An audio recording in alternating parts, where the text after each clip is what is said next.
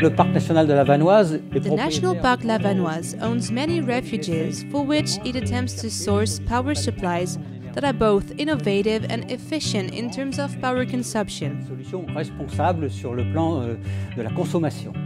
Et voilà, on est un We are an isolated site. On n'a aucun This means that we have no euh, access. Seulement par des We are mostly visited by roaming hikers and we have no On n'a pas energy.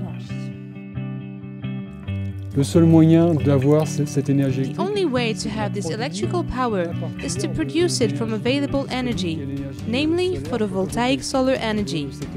We need to be lit up at night and the fridge needs to be switched on 24 7. So we have to source, use, and store this energy during non productive times.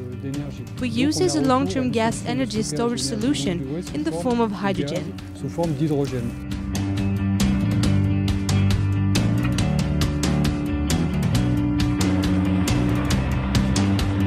Nous sommes ici sur le refuge. We are on the Col du Palais Refuge. We have a new building under construction. It is intended to receive a certain amount of equipment needed to produce and store hydrogen in order to provide energy autonomy.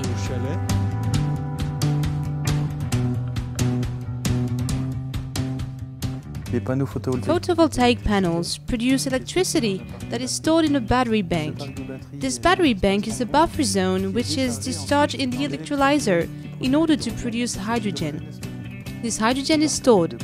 In peak time, hydrogen is recombined with oxygen to produce electricity that is then consumed by the refuge. The hydrogen storage we have allows for a sustenance of 11 to 12 days range. Le SAGES hybrid system can also handle wind turbines, hydroelectric turbines, or diesel generators.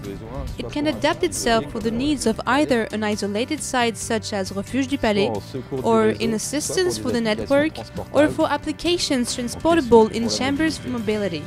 Derrière, Once installed, all sorts of people can benefit from the power supplies.